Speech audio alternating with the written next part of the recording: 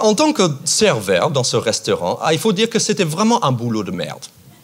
Parce que j'ai dû tout faire, y compris nettoyer les toilettes. J'ai appris que les toilettes des femmes sont dégueulasses. Je sais qu'il y a des femmes ce soir qui vont dire oui, mais vous les hommes, vous êtes plus sales que nous. Et je suis complètement d'accord. Mais c'est parce que vous êtes plus propre que vos toilettes sont plus crades. Je vous explique. Comment seulement après cinq femmes, des toilettes impeccables deviennent Fukushima? Femme numéro un, elle entre, elle voit que les toilettes sont impeccables, donc elle fait confiance, elle s'assoit sur la cuvette, elle fait pipi, elle prend deux petits carrés de PQ, elle se suit, elle tire la chasse, elle part. Une goutte d'eau saute de la cuvette et tombe sur la lunette. Ça, c'est le catalyseur.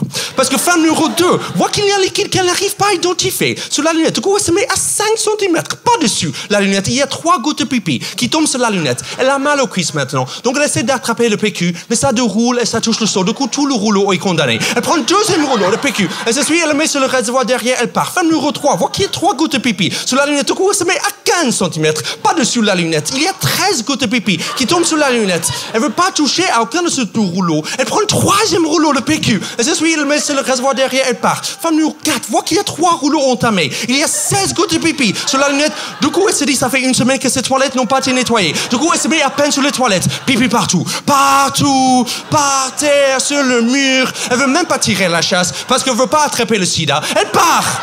Femme numéro 5 voit tout ce bordel. Elle a besoin de chier.